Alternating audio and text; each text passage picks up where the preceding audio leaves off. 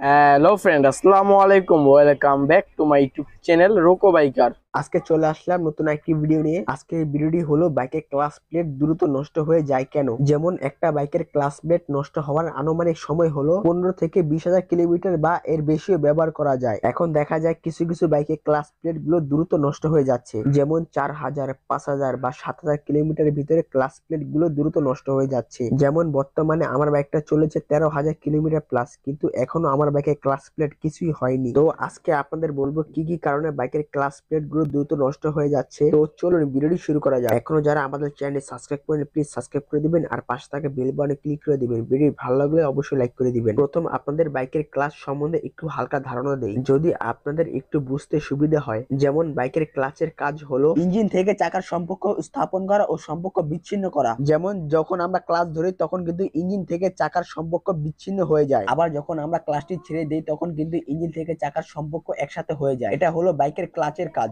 এখন আপনাদের বলব কি কি কারণে বাইকের ক্লাস প্লেটগুলো দ্রুত নষ্ট হয়ে যায়। আমাদের পাঁচটি রাইডিং ভুলের কারণে কিন্তু আমাদের বাইকের ক্লাস প্লেটগুলো দ্রুত নষ্ট হয়ে যায়। এক নাম্বার হলো বাইকের ক্লাচ সঠিকভাবে অ্যাডজাস্ট না থাকা। বাইকের ক্লাচ অ্যাডজাস্ট করার নিয়ম হলো যেমন প্রত্যেকটা বাইকের ক্লাস লিভারে একটি নির্দিষ্ট ফ্রি প্লে আছে, দশ থেকে বিশ মিলিমিটার এখন এই দশ থেকে বিশ মিলিমিটার ফ্রি প্লে কীভাবে অ্যাডজাস্ট করবেন? এই ক্লাস লিভার অ্যাডজাস্ট করার নিয়ম হলো দেখবেন ক্লাস লিভার চাপ দেওয়ার আগে ক্লাস লিভারটা কিছুটা লুজ থাকে। এই ক্লাস লিভারটাকে দশ থেকে বিশ মিলিমিটার লুজ রাখতে হবে। আর যদি আপনারা এইভাবে ক্লাস অ্যাডজাস্ট করতে না পারেন, তাহলে ক্লাস অ্যাডজাস্ট করার আরেকটি পদ্ধতি আছে। প্রথমে বাইক স্টার্ট করবেন, তারপরে প্রথম গিয়ার দিবেন, তারপরে বাইকের ক্লাসটি তিরিশ থেকে চল্লিশ পার্সেন্ট ছাড়ার পরে বাইকটি চলা শুরু করবে। আর যদি দেখেন ক্লাসটি একটু ছাড়লে বাইকটি চলা শুরু করছে, তাহলে ক্লাসটি টাইট দিয়ে নেবেন। আপনারা এই দুটি নিয়মে ক্লাস অ্যাডজাস্ট করতে পারেন। দুই নম্বরে হলো, অনেককে বাইক রাইড করার সময় দেখা যায় হাফ ক্লাস করে বা ক্লাস কিছুটা ধরে রেখে বাইক রাইড করে। এই ভুল কাজটি অনেকেই করে। বাইকের ক্লাস ব্যবহার করার নিয়ম হলো ক্লাচ একবারে ধরে ফেলা না হলে একবারে ছেড়ে দেওয়া। প্রথমে কিন্তু আপনাদের ক্লাস সম্পর্কে কিছুটা ধারণা দিয়েছিলাম। যখন আমরা ক্লাস ধরি, তখন কিন্তু ইঞ্জিন থেকে চাকার সম্পর্ক বিচ্ছিন্ন হয়ে যায়। আবার যখন ক্লাস ছেড়ে দেই, তখন কিন্তু ইঞ্জিন থেকে চাকার সম্পর্ক একসাথে হয়ে যায়। এখন এই হাফ ক্লাস করে বা ক্লাস কিছুটা ধরে রেখে বাইক চালালে যে ক্ষতিটি হয় ক্লাস প্লেট ও প্রেসার প্লেটের ভিতরে কিছুটা ফাঁকা হয়ে যায়। এই ফাঁকা হওয়ার কারণে কিন্তু ক্লাস প্লেটগুলো দ্রুত ক্ষয় হয়ে যায়। আর অনেকের হাফ ক্লাস করে বাইক চালানোর কারণ হলো, ওনাদের বাইকের ক্লাসটা লুজ থাকে,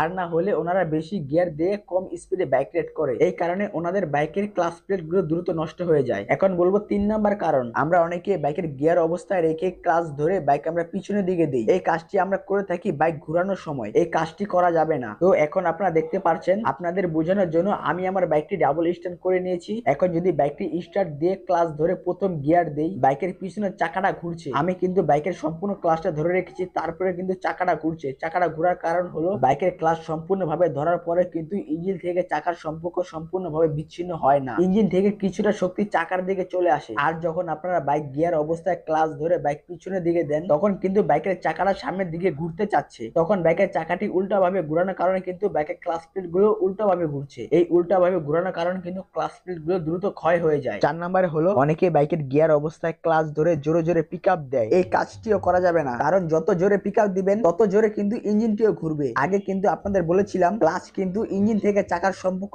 সম্পূর্ণভাবে বিচ্ছিন্ন করতে পারে না। বাইক গিয়ারে থাকা অবস্থায় ইঞ্জিনে কিছুটা শক্তি চাকার দিকে চলে আসে। যখন জোরে পিক দেওয়া হয়, তখন কিন্তু ক্লাস প্লেটগুলো জোরে ঘুরতে থাকে। তখন বাইকের গিয়ার থাকা অবস্থায় ক্লাস প্লেট ও প্রেশার প্লেট কিছুটা একসাথে ঘর্ষণ হয়। এই কারণে ক্লাস প্লেটগুলো দ্রুত নষ্ট হয়ে যায়। পাঁচ নম্বর হলো, অনেকে ক্লাস হুট করে ছেড়ে দিয়ে বাইকের স্টার্ট বন্ধ করে। এটিও ক্লাস প্লেটের জন্য ক্ষতিকর। কারণ আমরা যখন ক্লাস ধরি, তখন কিন্তু ক্লাস প্লেট থেকে প্রেশার প্লেট অনেকটা ফাঁকা হয়ে যায়। যখন হুট করে ক্লাসটা ছেড়ে দেয়, তখন ক্লাস প্লেট ও প্রেসার প্লেট হুট করে একসঙ্গে লেগে যায়। লেগে যাওয়ার সঙ্গে সঙ্গে কিন্তু বাইকের স্টার্টটি বন্ধ হয়ে যায়। এই কারণে ক্লাস প্লেটগুলো দ্রুত নষ্ট হয়ে যায়। আর এই কাজটি বেশিরভাগ করে থাকে যাদের বাইকের ইঞ্জিন স্টার্ট বন্ধ করার জন্য কিল সুইচ নেই। প্রয়োজনে একটি কিল সুইচ লাগিয়ে নেবেন। তো আজকের ভিডিও এই পর্যন্তই। তো বুঝতে পারলেন আপনারা বাইকের ক্লাস প্লেটগুলো দ্রুত নষ্ট হয়ে যায় কেন? আর আপনারা যে পাঁচটি পয়েন্টের কথা বললাম, আপনারা যদি এই পাঁচটি পয়েন্ট এড়িয়ে বাইক রাইড করতে পারেন, তাহলে আপনাদের বাইকের ক্লাস প্লেট দ্রুত নষ্ট হয়ে যাওয়ার সম্ভাবনা কমে যাবে। তো আজকের ভিডিও এই পর্যন্তই। দেখা হবে পরবর্তী ভিডিওতে আসসালামু আলাইকুম।